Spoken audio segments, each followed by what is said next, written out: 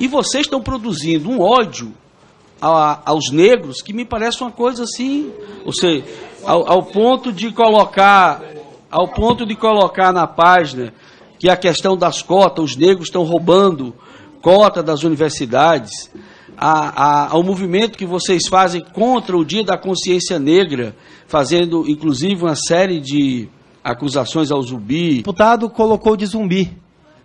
Zumbi é uma figura histórica. Porém, nós questionamos, sim, alguns pontos históricos. É nosso direito questionar pontos históricos, mas em momento algum citamos o ódio. E antes de mais nada, deputado, é... não me interrompa. Antes de mais nada, eu sou descendente de negros, deputado. Pode não parecer que eu sou assim, mas eu sou descendente de negro. Minha bisavó era indígena, minha bisavó era tupi. Eu posso expressar minha opinião.